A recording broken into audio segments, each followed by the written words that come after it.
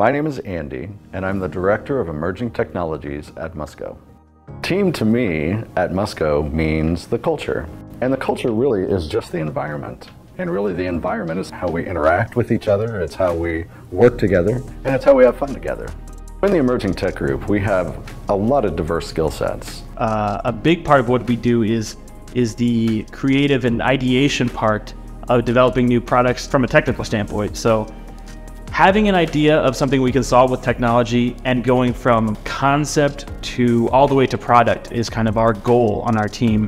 And that's such a cool spot to be in because it actually requires real creativity on a day to day basis, but also an in depth knowledge of technology and how to apply it to real world problems. Uh, it's a really exciting place to be.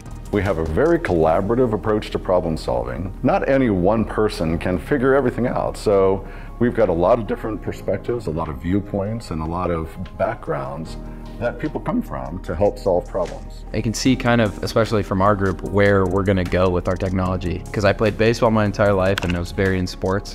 What we're doing is seeing an impact.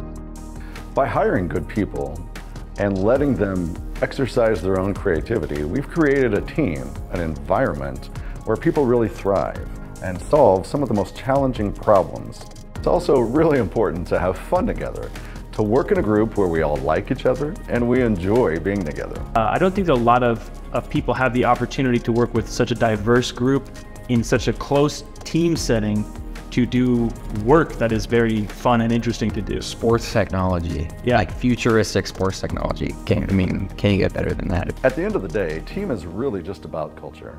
It's something we live out every single day. And that's something that's been woven into the fabric of who we are from the beginning. I'm Andy, and I'm proud to be part of Team Musco.